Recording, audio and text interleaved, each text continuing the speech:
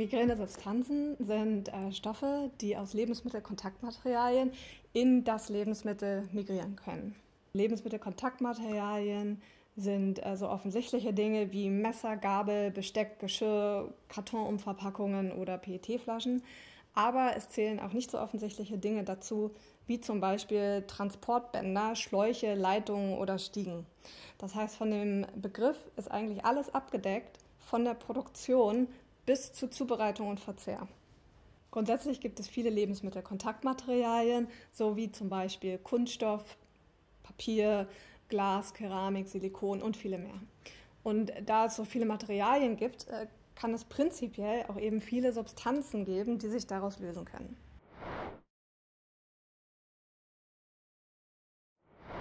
Grundsätzlich kann die Migration von Substanzen aus Lebensmittelkontaktmaterialien von verschiedenen Faktoren bestimmt sein. Dazu zählt ähm, zum allerersten das Lebensmittelkontaktmaterial, um das es sich handelt, dann das Lebensmittel, je nachdem, ist es sauer, dann kann sich zum Beispiel unter Umständen mehr herauslösen, als wenn ich ein neutrales Lebensmittel habe.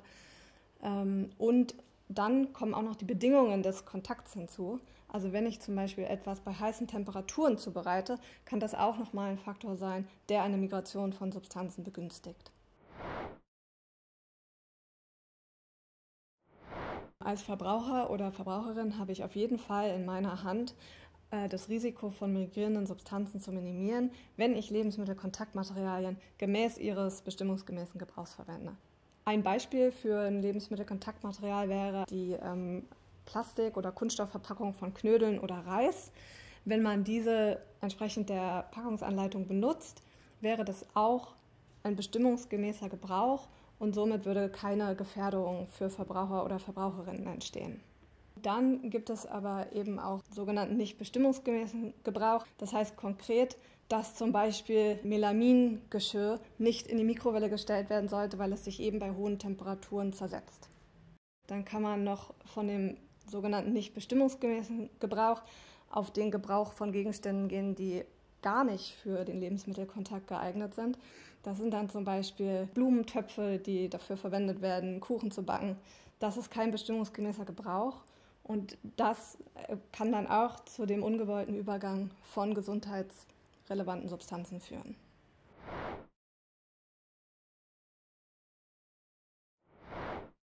Im Fall von Silikon gibt es zum Beispiel auf der einen Seite Muffinförmchen oder Schneebesen, die für den Lebensmittelkontakt ausgelegt sind.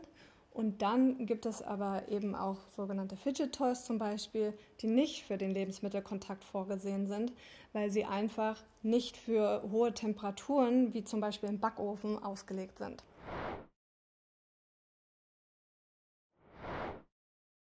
Wichtig in dem Zusammenhang sind äh, Gebrauchs- oder sogar Warnhinweise von Herstellern, die ähm, bei Lebensmittelkontaktmaterialien unbedingt ernst genommen werden sollten. Bei Sachen, die noch nicht im Kontakt sind, wie zum Beispiel ein Suppenlöffel oder ein Wasserkocher, die kommen ähm, entweder mit dem Messer-Gabel-Symbol, das darauf hinweist, dass das ein Gegenstand ist, der für den Lebensmittelkontakt bestimmt ist, ähm, oder eben mit Herstellerhinweisen, die irgendwo deutlich ja, erkenntlich sind. Bei weiteren Hinweisen gibt es zum Beispiel diese kleinen Symbole für Mikrowelle oder auch Tiefkühl. Sollte das durchgestrichen sein, ist eben deutlich die Nichteignung für die Mikrowelle gekennzeichnet und dementsprechend sollte das nicht für die Mikrowelle verwendet werden.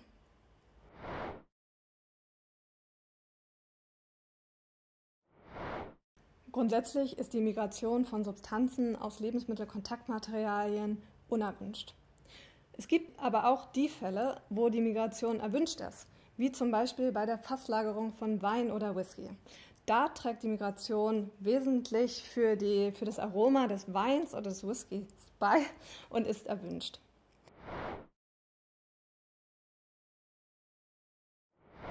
Das Bundesinstitut für Risikobewertung ähm, kümmert sich um die Risikobewertung von ähm, Stoffen, die aus den Lebensmittelkontaktmaterialien migrieren können.